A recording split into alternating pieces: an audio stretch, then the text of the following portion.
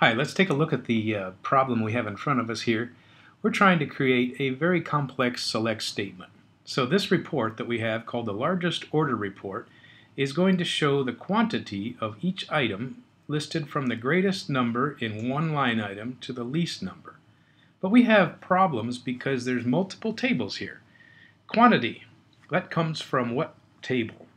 Probably the order details table.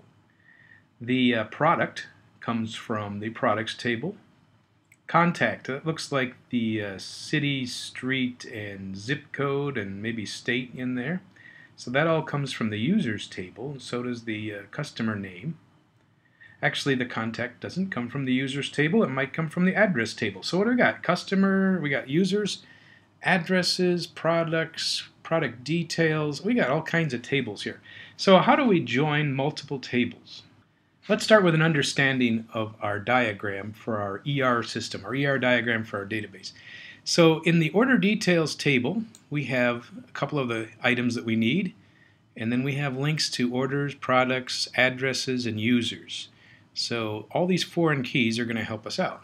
So I'm going to switch into my PHP MyAdmin, and let's start building a query one piece at a time until we get something that resembles the final output that we're looking for. So I'm going to start simple. Let's do a select statement, and I'm going to select the um, something from the order details table. Let's select the quantity. And uh, so we put in there from order details. And I'm going to push run or go.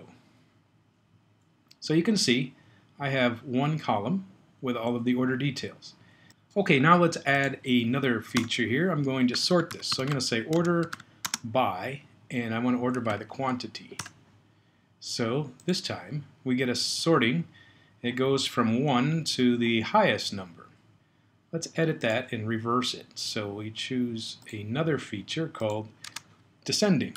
DESC is the shortcut for descending.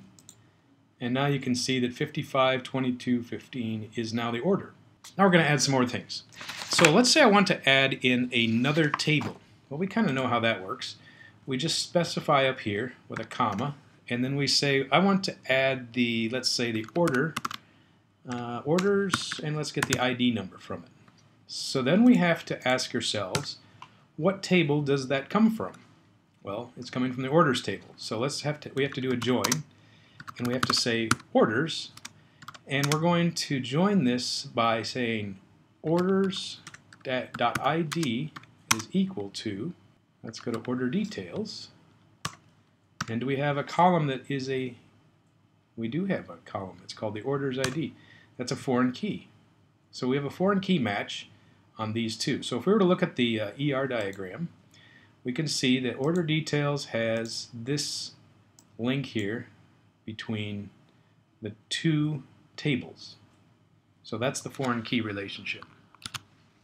Okay, we're going to try it out. Go. And now we see these two here. So ID is telling us the order ID. Let's go edit that.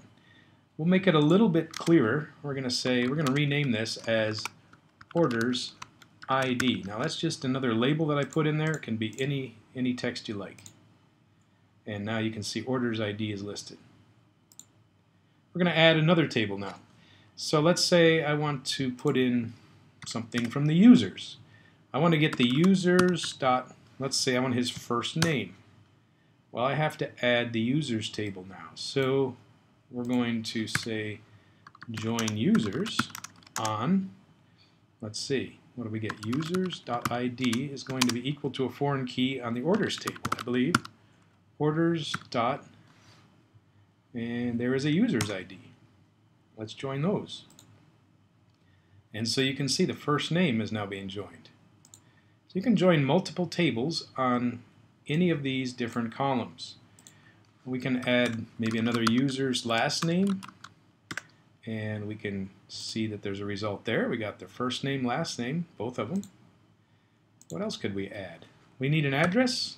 Let's go ahead and say uh, what is in the address table. Let's go to addresses dot and we got all kinds of stuff we could do for address. Let's say his street address and then I'm going to also add the uh, state and let's see the zip code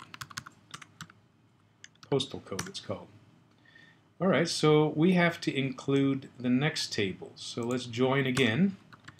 And we're now pulling from the addresses table.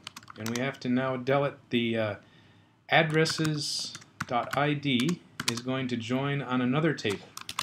Well, if I were to switch into addresses and see what kind of foreign key relationships we have, so we have addresses, and I can either pull them from the orders table or the users table.